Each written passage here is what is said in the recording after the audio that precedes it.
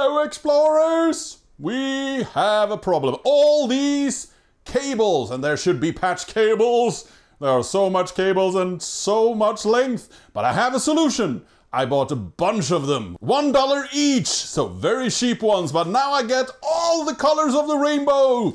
All the techno colors. We got white cables, black cables, yellow cables, blue cables. So how do I cable manage that in my rack? Please help.